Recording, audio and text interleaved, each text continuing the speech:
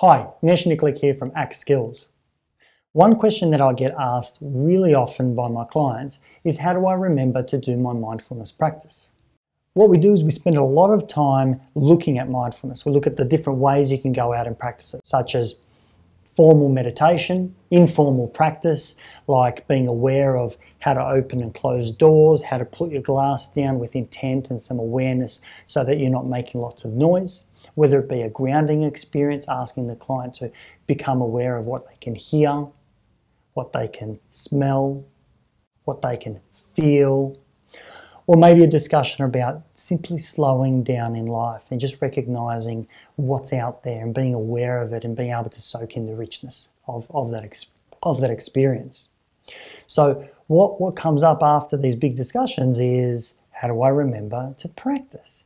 So, what I've done is developed the mindfulness band. The mindfulness band says on one side, the present moment, and on the other side, it says right here, right now.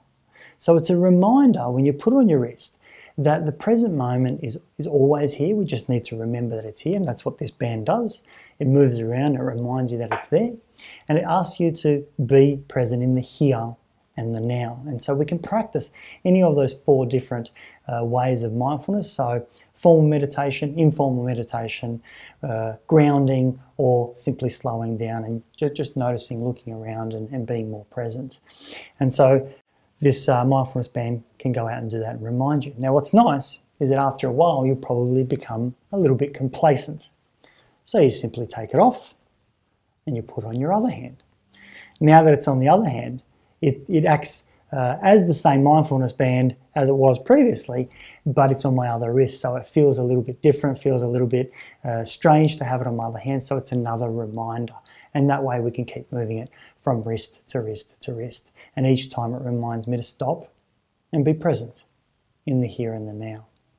So, what I'm hoping to, to do is to share this mindfulness band with as many people as I can, particularly clinicians. Because I, I think that if we as clinicians can go out and, and practice mindfulness ourselves and remind ourselves of the mindfulness practice, we're more likely to be able to uh, assist our clients with doing the same. It creates validity, it creates that experience. If I've been able to do it, then I know what I'm asking my clients to do. So you can get yourself a mindfulness band. If you just order it below, you can get it for free and just pay for postage and handling. This will get shipped out to you straight away, and the more people that can get it, the better. My, my passion is to get ACT out there and particularly this mindfulness band because I think mindfulness goes out and underpins all of the core processes in the ACT framework.